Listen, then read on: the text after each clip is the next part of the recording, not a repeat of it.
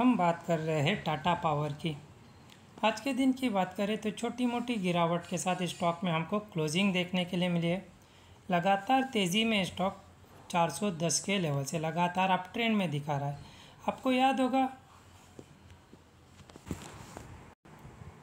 आपको याद होगा, इससे पहले जब बाउंस बैक कर रहा था, स्टॉक हमने डिस्कस किया था कि इस हाई को ब्रेकआउट कर सकता है और इसके ब्रेकआउट के बाद 480 से लेके 500 तक के टारगेट हमने डिस्कस किए थे। और देख सकते हैं स्टॉक ऑलमोस्ट हमको फाइव, फोर नाइन्टी फाइव तक का जम दिखा चुका है। ना अपने टारगेट हमको हिट करते नज़र आ रहा है। लगातार अप ट्रेंड में है टाटा पावर यहाँ से उड़ान अभी बाकी है टाटा पावर में।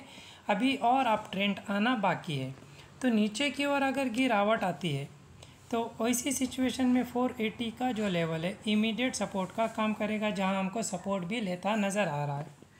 ब्रेकडाउन कर जाता है तो जिस हाई को ब्रेकआउट करके अपसाइड दिखाया है नेक्स्ट सपोर्ट रहेगा 470 का लेवल और मेजर सपोर्ट रहेगा, यहाँ नज़र डालिए रिजेक्शन लिया था, फिर यहाँ नज़र डालिए सपोर्ट भी लिया था 460 का लेवल तो जब तक इसके ऊपर है अपसाइड के चांस टाटा पावर में बने हुए। और लगातार तेज़ी दिखाता नज़र आ रहा है। टाटा पावर के अगर हम चार्ट पैटर्न को देखें तो हमको लगातार अप ट्रेंड ही देखने के लिए मिल रहा है। हम देख सकते हैं, जम जम पर गिरावट गिरावट पर हाई ब्रेकआउट जम पर गिरावट गिरावट पर हाई ब्रेकआउट। यहाँ से गिरावट आई है। तो ऑलमोस्ट 474 तक का भी फॉल स्टॉक दिखा सकते हैं। यहाँ से बाउंस बैक करेगा।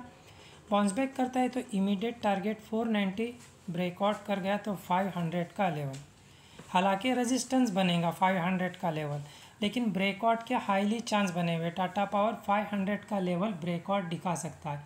500 के ब्रेकआउट के बाद बड़ी तेज़ी, फिर नेक्स्ट टारगेट 520 और इस बाउंस बैक के साथ 540 तक के भी टारगेट टाटा पावर दिखा सकता है। शॉर्ट टर्म में ही 540 तक का जम भी स्टॉक में हमको देखने के लिए मिल सकता है।